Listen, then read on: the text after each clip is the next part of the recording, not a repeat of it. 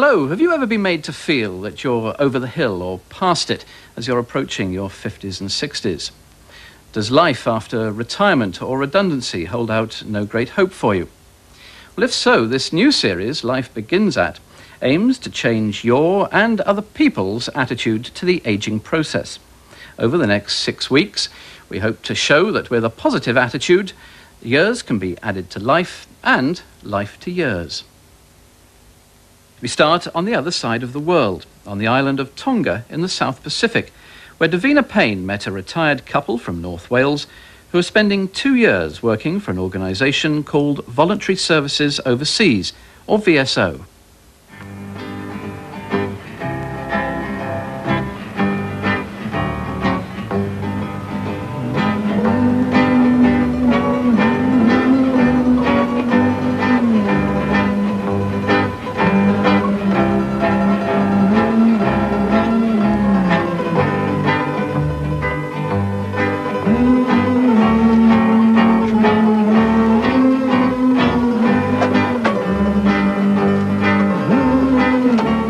Most of their lives, teachers Bill and Elizabeth Beattie have lived in Old Colwyn in Gwynedd. But in October 1992, they were accepted for two years' work with VSO in Tonga, more than 11,000 miles away. It's very worthwhile, it's a challenge, it's something different, and there's a great deal of satisfaction to be had out of it. Anybody who's interested in doing this work uh, should look at it as a challenge and look to get as much out of it um, at, the, at the same time as give as much as you can. The general reaction was really that they were a bit nuts, not for going, but for leaving the house for me and Ed to look after it. I'm really proud of the fact that Mum and Dad have done this. And I know that they've thoroughly enjoyed it and it was well worth um, sort of the commitment that they've made. Dad's always been active since he finished school. So, you know, I thought maybe they would do something. And they, well, they deserve to. They've got to manage with fairly basic conditions. I mean, if you're the sort of person who needs to have a hairdryer at hand at every moment of the day, then probably VSO is, not for you. But if you can manage to adapt and, and be able to cope without running water and electricity from time to time, then it's for you. The Kingdom of Tonga in the South Pacific consists of approximately 150 islands, most of which are uninhabited. There are three main island groups, Vava'u, Ha'apai and Tongatapu, where I went to see the Beatties. They live and work in the capital of Tonga, Nuku'alofa. This town is about the size of Colwyn Bay, where Elizabeth and Bill have spent most of their lives.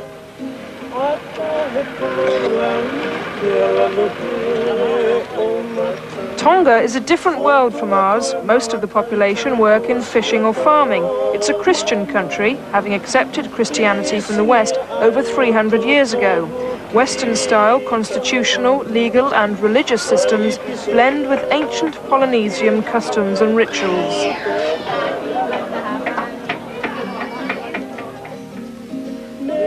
Queen Salote put Tonga on the world map when she endeared herself to the British public at the coronation of Queen Elizabeth II in 1953. Queen Salote's son, King Taufa'ahau Tupou IV, rules Tonga's 90,000 people today. 62-year-old Bill and 57-year-old Elizabeth Beattie applied to VSO in 1992 after hearing about a suitable job for a PE teacher in Tonga from their daughter Catherine, a VSO employee. After an in-depth selection process, they were accepted for a two-year placement. I think there have been a few people along the way who said you're mad or why do you want to go to Tonga or where is Tonga? I think um, inside us that there was this, not necessarily an ambition, but a willingness to, to go and try something different. Bill has been asked to set up a PE course for trainee teachers who will be working in primary and secondary schools. Liz is teaching English and assessing students on teaching practice. The aim of both jobs is to help Tonga become self-sufficient in training teachers without having to send them overseas. 10% of VSO's volunteers are over 50, some are in their late 60s. It was about 10 years ago that, w- that we started really realizing that, that there was a, a pool of people there who had a very valuable contribution to make. They have got enormous amounts of career and life experience behind them. They've often shed their family responsibilities.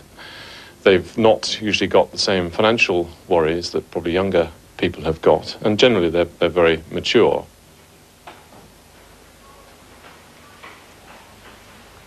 What they are doing is transferring skills and building capabilities. But uh, in addition to that, they are also able to promote international understanding and they get an enormous amount out of the experience themselves, both personally and, and professionally. The image of VSO is, is still that of a school leaving organisation. Um, and I think that's probably particularly the case with the older generation who, who obviously were very affected by the early publicity when VSO was formed. And so we do have a job to change the perception within the general public, and probably particularly that sort of age range, to explain that we're not that anymore. We are a broader based organisation that takes people from 20 to 70 who are skilled and experienced people. The Beatties live in a small house in Tonga. It's very basic, but they say it's adequate. We have a bathroom and toilet indoors, and uh, we have quite a good kitchen. So we don't really lack for anything. Uh, we don't have a telephone, but I feel that that's a good thing in some ways, having been at the end of a phone for many years. And uh, we don't have any hot water in the house, but the climate is generally very warm. And uh, whereas in the winter the water does, the water coming from the taps and the shower does feel a bit cold, um, it's, um, it's a very small price to pay for the lovely weather that we have outdoors. So Anna's obviously had a nice time. Every weekday morning, one of their students, who also conducts the church choir, calls round for breakfast. Did you have a good weekend? Yes, yes, yes. What were you up to? Uh, here they are. There's a lacking of my assignment. Yeah. Uh, made me good. The, dread, the dreaded assignments. Well, Yeah. That's plenty.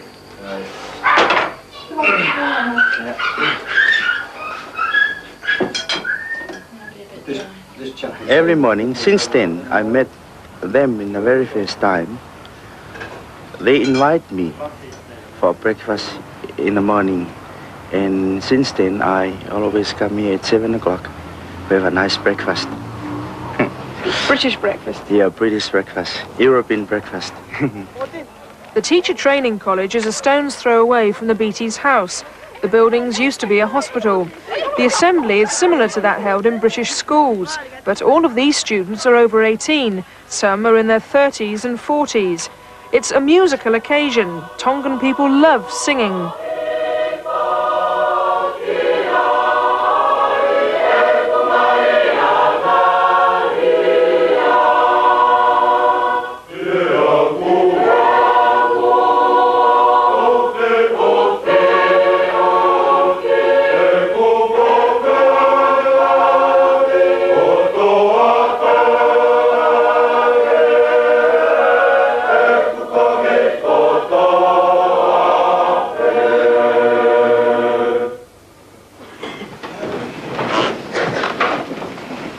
If I say forward, run forward.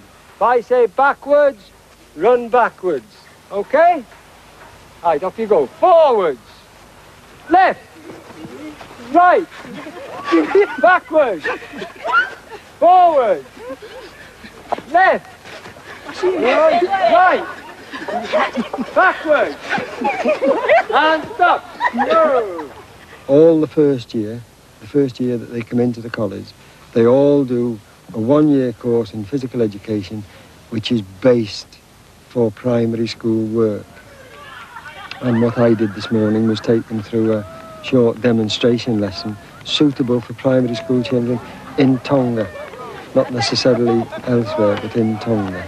They like sport in Tonga, don't they? Oh, they love it. It's uh, it's an essential part of their lives. But in the past, it's been mainly recreation. That's what it's looked at. And convincing them that it's an essential part of a physical education or an education system is, is difficult. But they're getting there slowly.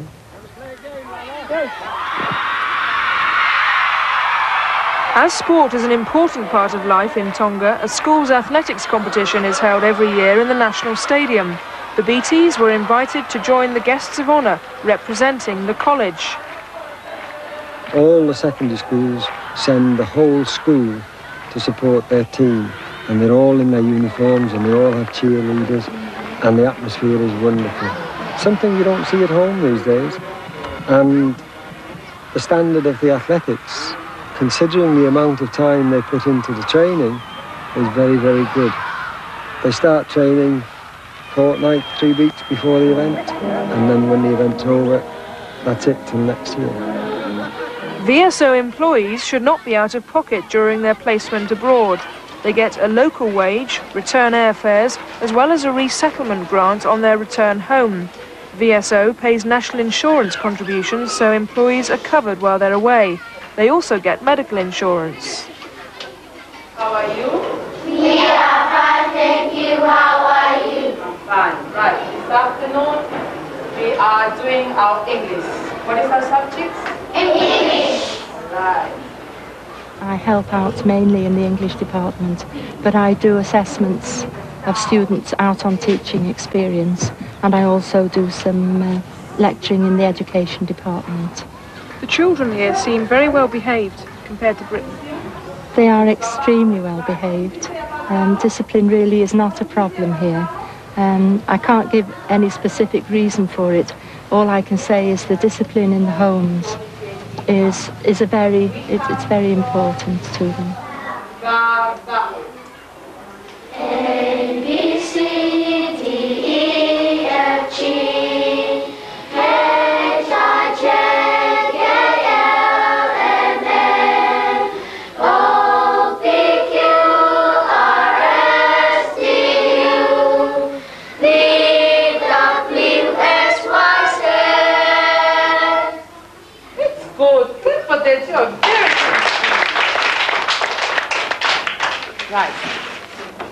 Lesson plan is excellent, right? And in fact, I've given you an A for that lesson because uh, there are so many good points about it. Um, I liked especially the way you encourage all the children. And I know that in Tonga, children love to clap. They like that sort of encouragement.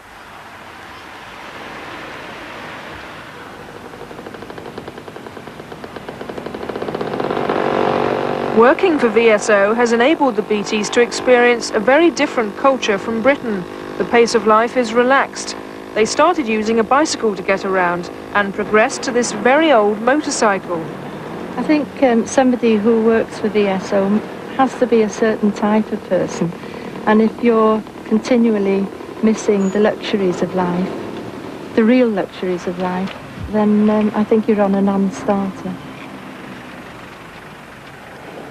It's remarkable what people do put up with, and, and I'm always surprised at, at how people adapt to quite difficult living situations. But as I say, most people seem to manage that without any, any trouble at all. We take people from a very wide range of, of disciplines, from carpenters and plumbers to doctors and nurses, general agriculturalists, business advisors, computer specialists, almost anything you can think of, which we are likely to be requested for. We do take very special care at selection to really look at how well suited people are in terms of their adaptability and flexibility because you have to be, above everything else, very flexible as a volunteer and be willing to cope with all sorts of uh, conditions and situations. So it's something that we, we take in, into careful account at the selection stage. They must be quite unusual to, to suddenly up their roots, you know, if they're in the third age, the last part of their life.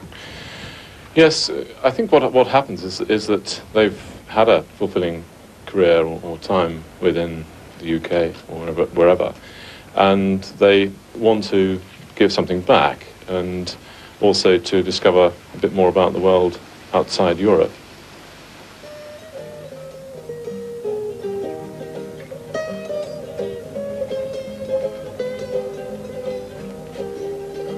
A very colourful part of Tongan life is the flea market on Saturday mornings.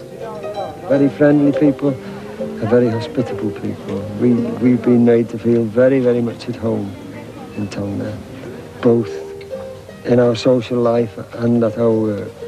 And we've been very happy here. I don't think they have the pressures on them that we have in the West. Their, their lives are quite easy going and um, they don't fill their lives with unnecessary worries.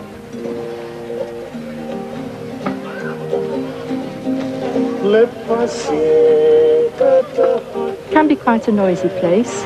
Uh, in fact, there are lots of Falangi people, white people, there on a Saturday, and you can be sure of meeting somebody. And uh, there are there are good second-hand clothes there, and I think a lot of Falangi people just go there for the fun of it, because the clothes are cheap, and sometimes you can pick up a really good bargain. Thank you very much. Thank you very much.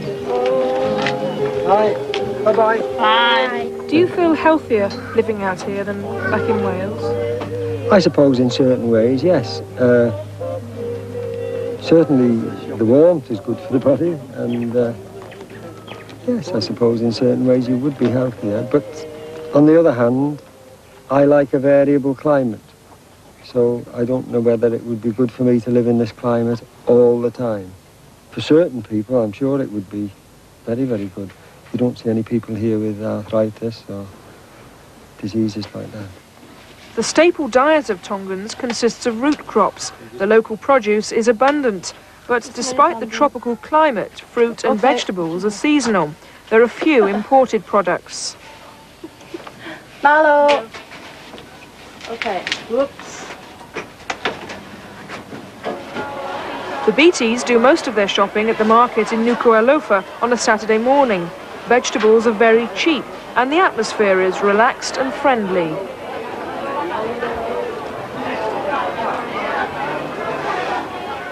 On Saturday afternoons, the Beatties often play tennis.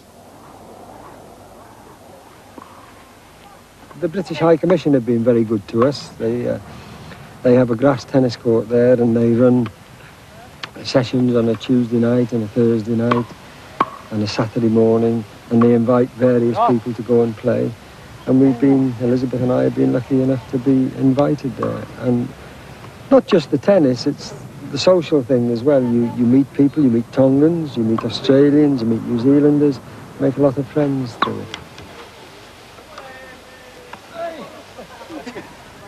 There are many islands and beaches within easy reach of the capital of Tonga. This is about 20 minutes away by boat. We used to go to the beach a lot more when we first came here. Uh, in fact, we couldn't keep away from it. Every, every spare moment we had, even when we just had push bikes, we were off to the beach. Um, but now, somehow, we seem to have got into a routine very similar to our routine at home. And um, we've got quite accustomed to our own home. And very often we just stay at home and read. Since she's been in Tonga, Elizabeth has learnt tapestry and weaving.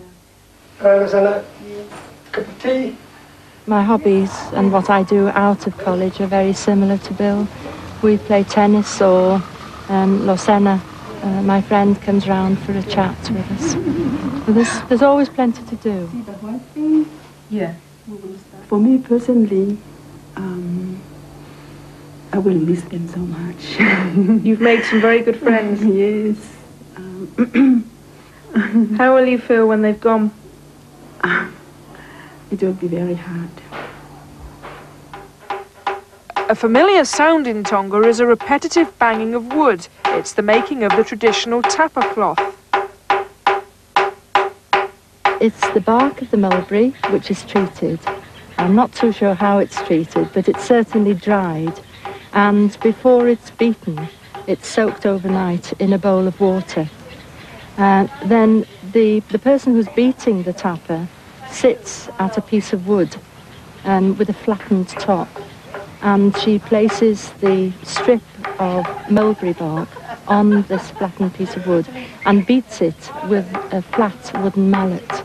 And she beats this strip, which is about an inch and a half in width, until it becomes maybe eight or nine inches in width. Uh, when she has several pieces like that, she glues them together. And the a full tapa is 50, 50 feet long by 12 feet wide. And then they, they do their own family traditional pattern on it. They paint it on.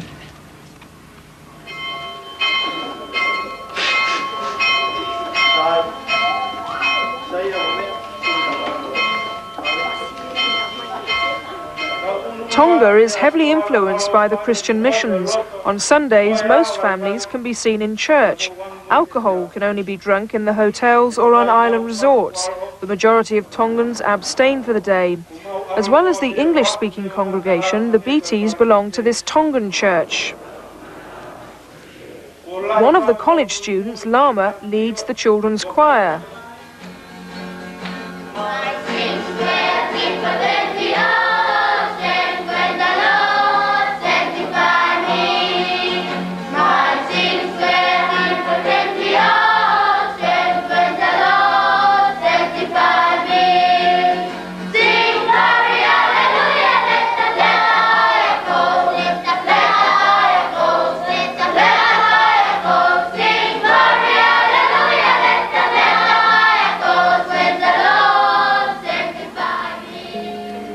Feasts are a major part of Tongan life. The women spend all night cooking and preparing the food.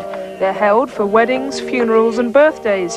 This feast was to mark a 16th birthday, a special date for Tongans. Bill and I have been to about, oh, must be at least two dozen since we've been here.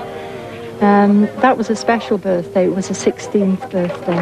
And I don't know whether you noticed that a little enclosure of tapa had been built, tapa cloths and uh, the birthday cakes were also placed on the tapa cloth as well. They have such a variety of stuff on the on the feast table, especially fish, and of course the suckling pigs. But I'm afraid I can't uh, I can't cope with them. Will it ever be possible to settle down in Wales after to coming the other side of the world for two years? Yes, it will. Uh, I have no doubt about that at all. We have good friends and we have uh, a family that will just receive us back into the community and it won't take us more than a few days, just until we've got rid of our jet lag, to feel, I suppose, that we haven't been away at all. I think you get a, a different perspective and a better perspective, I think, onto family life and the importance of perhaps your church to you. Uh, the Tongan people have a very, very caring way with their families, and I think we've got quite a bit to learn from them in that respect. I don't know whether whether I ever shall feel like a retired person. Um, so long as I remain healthy, and so long as life is fairly kind to me, um, I think Phil and I will just go on just the way we are now.